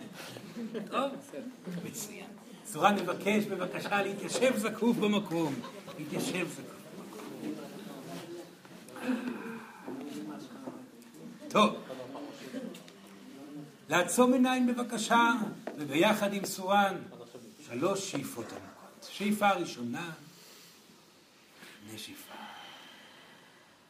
שאיפה שנייה, נשיפה.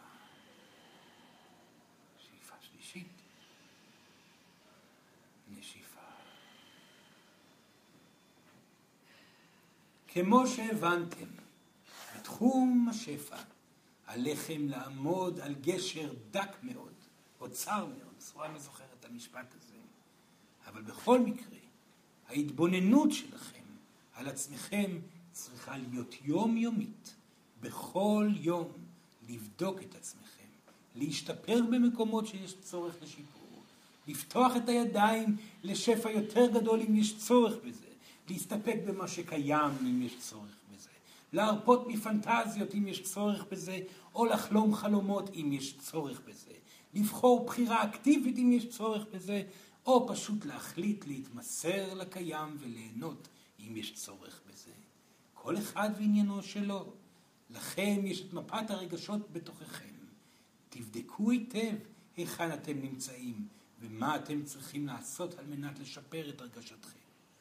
מצבכם הכלכלי יהיה בהתאם, ואם תעשו עבודה מפה והלאה בהתמסרות מלאה לרגש, צורן מבטיח, אתם תקבלו כל מה שמגיע לכם, ואולי אפילו תצליחו לחיות עשרות שנים בגלגול אחד, ללא רגע אחד של מחשבה על האם יש לכם כסף או לא, אלא סך הכל ליהנות מהיציבות שאלוהים תעניק לכם. תודה רבה.